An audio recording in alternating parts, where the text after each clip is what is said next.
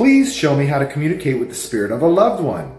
Okay, let's do it right now. Just a heads up, this can be an emotional experience, so if you're not ready to go through that right now, then make sure you save this video for later. But if you're ready, just sit down wherever you are and settle in. We're not going to meditate, but you do want to be comfortable. Okay, so go ahead and take a deep breath in. And at the top, just hold it for a second. And on the exhale, I just want you to let everything go.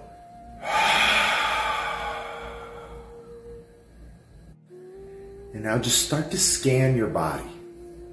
Notice what it feels like. Notice any sensations that you're experiencing in your body. Any tingles, any warmth. Just notice what it feels like to be inside your body. What are you feeling?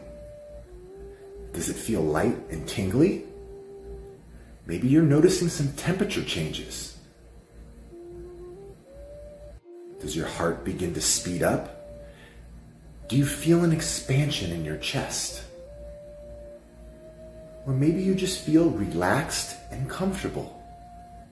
Just notice what you're feeling now.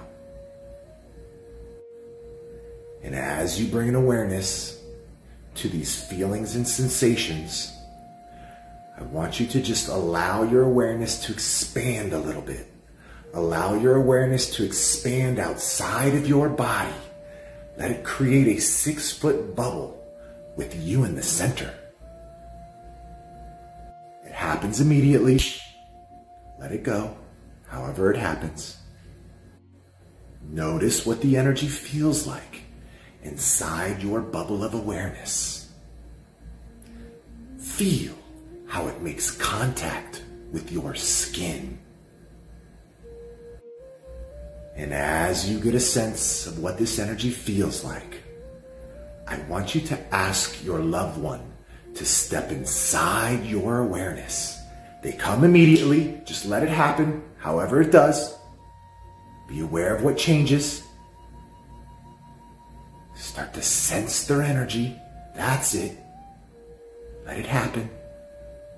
Notice that familiar energy and what it feels like. Let it wash over you now. And as you connect with their energy, they transmit a message, whatever it looks like, however it comes, just be aware of it. Pause the video if you need more time and let me know how you did in the comments.